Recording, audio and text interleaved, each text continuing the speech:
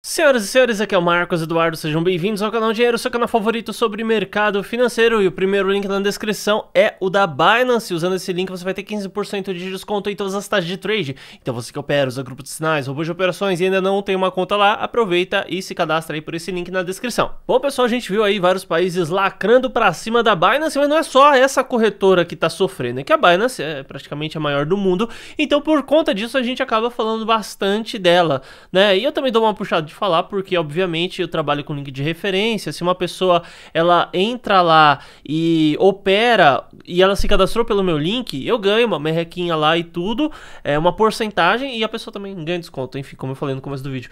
Então, às vezes eu acabo falando mais da Binance, mas no geral, várias corretoras estão tendo problema, né? Inclusive agora a Comissão de Valores Mobiliários de Ontário, né, a OSC, que é o órgão regulamentador do Canadá. Eles anunciaram que a exchange OKEx, agora que também é uma exchange gigantesca, é, pode ter que pagar aí cerca de um milhão de dólares em multas para a autarquia por não cumprir, por ignorar as leis locais. E a ação do órgão ocorreu um pouquinho depois dela ter feito isso também com outras corretoras como a Poloniex, a Bybit e também a Coolcoin que sofreram aí essas punições. Bom, e a empresa por trás da OKEx está então sujeita à Lei de Valores Imobiliários de Ontário, porque os produtos ativos criptográficos oferecidos na sua plataforma são, de acordo com o regulamentador canadense, considerados aí como derivativos. Então é aquela mesma história, pessoal. Criptomoedas não tinha regulamentação nenhuma, então as empresas trabalhavam normalmente com isso, tinham vários clientes, faziam vários produtos em torno de criptomoedas, mas em um determinado momento os órgãos regulamentadores olharam e falaram: "Não, precisa de registro aqui com a gente, né? Precisa".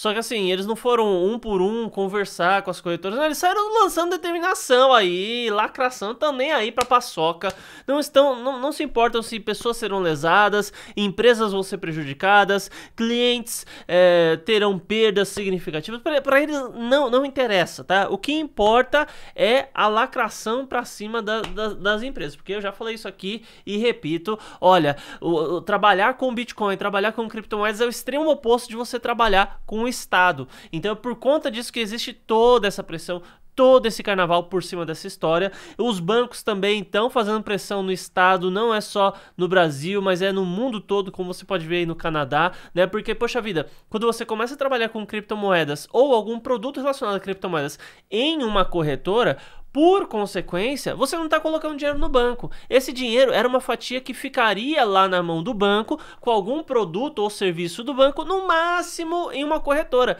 Só que a maior parte das corretoras elas são do mesmo grupo que alguns bancos. Então, no fim das contas, a gente está falando de banco e Estado unicamente, e as empresas que estão no meio do caminho aí muitas vezes são ligadas diretamente aos bancos ou até mesmo ao Estado. Bom, então foi feita aí uma advertência né, uma solicitação encaminhada ao, à OKEx e vai rolar uma audiência para tratar então dessa oferta irregular. Daí volta a dizer, o que, que essas empresas fizeram de errado? O que, que a Binance, a OKEx, a Ruby, elas só existiam, tá? Elas só existem.